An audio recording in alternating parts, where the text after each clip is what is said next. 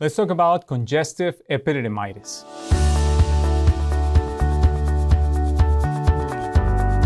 After a vasectomy, some patients can experience weeks or months after a heaviness and uncomfortable sensation over one or both sides of the scrotum. This heaviness could be more evident after having sex or ejaculating. Patients may report increased sensitivity over the back of the testicle with a sensation of fullness. This heaviness or congestion felt is related to a buildup of sperm in a small structure called the epididymis. If you remember, when we do a vasectomy, we interrupt the flow of sperm from the testicle to the tubes that carry semen to the outside during ejaculation. By doing this, the sperm does not disappear, but simply does not make it into the semen. Therefore, sperm continues to be produced. When the vasectomy is performed, now there are two halves of the vas deferens the small tube that carries the sperm from the testicles to the tubes that will bring the semen to the outside. The upper half will no longer be carrying any more sperm, but the lower half, still connected to the testicle, will continue to carry sperm.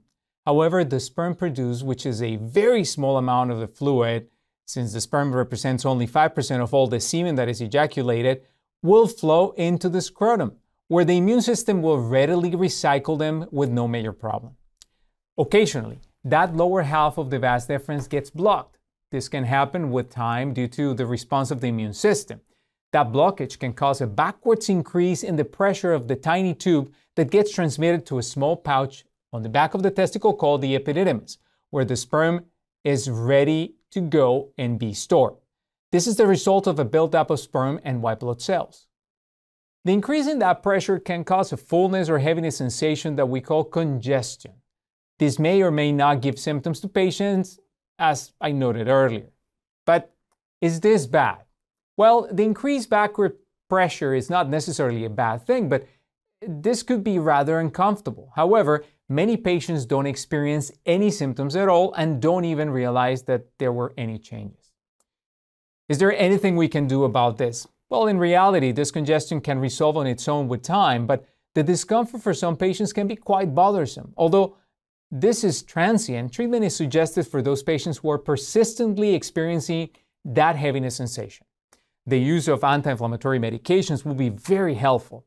The simple use of ibuprofen, naproxen, or even acetaminophen for those who are allergic to the other medications will be enough when taken consistently for 14 days.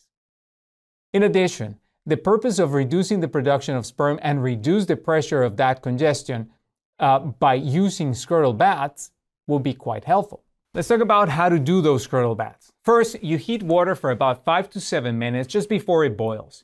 And then you place it inside a metal bottle like a hydro flask, like a bottle like this. You make sure that the bottle gets warm. Then you place it, you place a small towel over the scrotum and place the bottle over the towel covering the scrotum for 45 minutes once a day for 14 days. Just be careful not to burn yourself. That's it. In summary, these are the five things I want you to remember about congestive epididymitis. First, it is a heavy sensation over the testicles weeks or months after the vasectomy. Second, it can happen on one or both sides with or without symptoms. Third, is it the result of sperm production and backwards pressure? Fourth, it does not always require treatment. And finally, anti-inflammatories and scrotal baths for 14 days will be very helpful.